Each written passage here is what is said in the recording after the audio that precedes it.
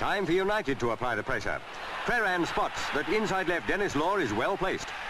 Just watch how that Scottish wonder turns the pass to complete advantage.